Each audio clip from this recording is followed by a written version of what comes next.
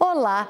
E para você que está conectado na internet, assista agora uma conversa sobre o filme Todos contra Zucker, com o diretor André Klotzel.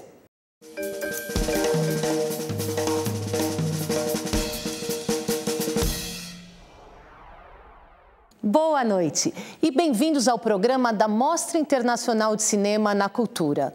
Hoje apresentamos a comédia alemã Todos contra Zucker, de Dani Levy. O diretor é judeu, nasceu na Suíça, mas se mudou para Berlim em 1980. A cultura judaica está quase sempre presente nos seus trabalhos, na maioria das vezes com muito humor e polêmica. Bom, Jack Zucker conta a sua história. Cheio de dívidas, é expulso de casa pela mulher, é desprezado pelos filhos e só vê salvação em um campeonato de sinuca. Mas recebe a notícia da morte de sua mãe e, com ela, a informação de que terá que conviver com o irmão Samuel, um judeu ortodoxo, antes de receber qualquer herança. Só que Jack não fala com o irmão desde que Samuel se mudou para Frankfurt, ainda durante a existência do Muro de Berlim. E o nosso convidado desta noite é o cineasta André Klotzel. Boa noite, André. Obrigada. Está aqui. Boa noite. André, o filme, eh, no início, ele lembra um pouco Memórias Póstumas de Brás Cubas, que você é, dirigiu. E tem essa questão do flashback, né? O que você achou disso? O que você achou do filme? Olha, eu não tinha assistido o filme. O filme, para mim, é uma novidade. Eu tinha ouvido muito falar no filme, quando passou no cinema. Não me lembro por que eu não assisti. E eu sei que uh, eu vi agora, gostei muito. Ah. E achei um filme muito próprio, muito adequado para passar em tela pequena. Tem filmes que não funcionam, que a gente fala, ah, queria ter visto no cinema, é um filme para cinema. Esse é um filme para cinema, mas é um filme também muito bacana em termos de ritmo de comédia e tal. E quando eu comecei a assistir, falei, pronto, já sei porque eles me escolheram, tá? Porque por Memórias Posto Brás Cubas, é igual. Mas depois eu vi que o filme é completamente diferente, caminha para outro lado, ele vai para um outro caminho, outra vereda, de comédia, outro tipo, é, achei Divertidíssimo o filme. O André, o diretor aqui, ele já levantou uma polêmica porque ele fez um filme, uma comédia rasgada também sobre Hitler, né? O que você achou no retrato da cultura judaica neste filme? Bom, esse é outro ponto em comum que tem é que eu sou de uhum. descendência judaica, eu não sou sou judeu ateu, mas sou descendência judaica. Você é igual o Zucker, né? Eu sou igual ao Zucker.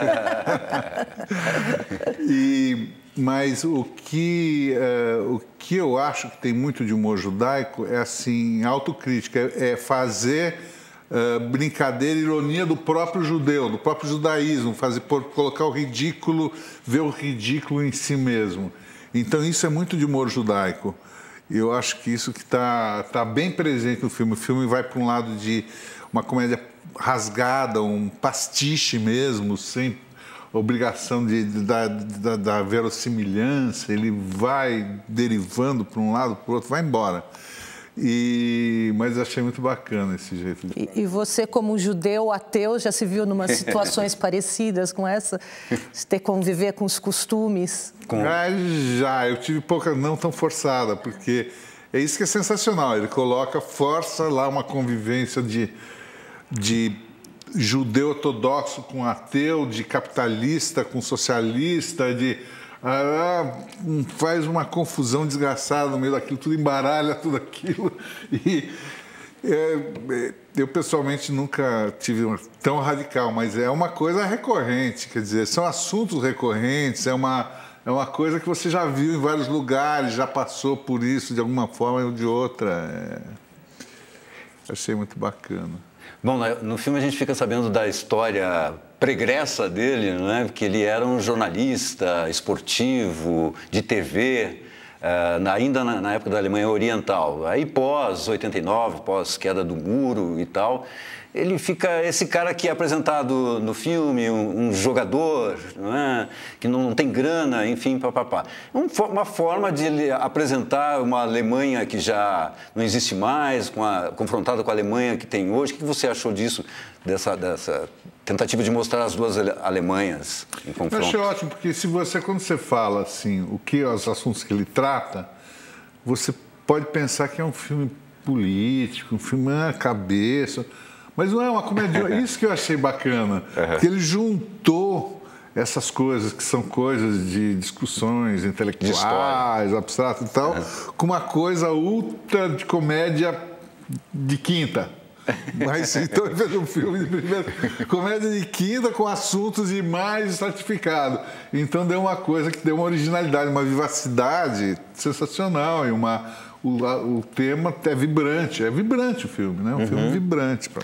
É como a Deus uh, Lenin, de alguma forma, também trata de um assunto sério, mas partindo para um lado é, irônico. Ele tem essa nostalgia, né, da época do, do socialismo, né, das duas Alemanhas. Porque eu acho que teve uma grande festa, uma celebração da União das Alemanhas, mas tem os Zuckers da vida, né, é. que não se adaptaram à Alemanha capitalista, né?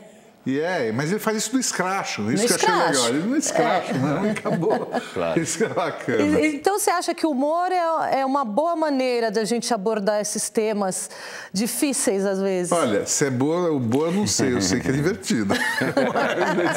eu adoro humor, eu acho sensacional. Ah, você é um grande mas... diretor de comédias, né? É, eu não me considero um diretor de comédias específico. Não eu acho só que de comédias. Acaba desembocando na comédia até involuntariamente, mas. É, e, e, essa, mas essa é uma comédia rasgada, ela segue na tradição de comédia dell'arte. Se for olhar, parece Goldoni, tem comédias teatrais, aquelas grandes comédias que o desencontro, uma pessoa sai por aqui, outra entra por ali, bate a porta por cá, aí vai para não sei o quê, vai, foge é. escondido, não sei o é que. É aquela tradição de comédia bem assim, é, desse tipo. Até estava lendo uma curiosidade que o diretor ele trabalhou com um palhaço no circo. Muito é, tempo. Tem tá esse vendo? ingrediente, tem, é. tem esse ingrediente clownesco nesse, nesse tipo de humor. É um humor que traz tudo isso junto. O, o, ator que faz o, o Zucker, né, ele foi premiado, inclusive, por esse papel. Mas tem bons outros atores, é, outros personagens que se destacam, né, como a própria mulher dele, o irmão dele, né, que a gente vai descobrindo uma outra personalidade que é apresentada de uma forma, depois a gente vai ver que não é bem assim e tal. O que você achou dos outros personagens? Achei sensacional. O filho do irmão, quer dizer, o sobrinho dele Isso. e a sobrinha também, que é todo de um jeito. São todos assim, cada um tem uma, uma, uma sub-história, né? Porque isso é bacana. Tem sub-historiazinhas no meio, que aí, ah, fulano não sei o quê, aí você vai descobrindo coisas, cheio de detalhezinhos. É, as, as histórias, são subplots que chamam, né? Quer dizer, a história principal e tem várias pequenas histórias juntas no meio da relação de um com o outro, do rabino, o rabino engraçado, rabino, né? né? Tem vários personagens no meio que muito divertidos. Obrigada, André. Obrigado. Obrigado, até a próxima então, André. Até. Bom, e para assistir uma versão maior das nossas conversas, acesse o site do programa no Semais, o portal de conteúdo da cultura, semais.com.br barra mostra. Ficamos agora com Todos contra Zucker. Bom filme e até o próximo programa da Mostra na Cultura.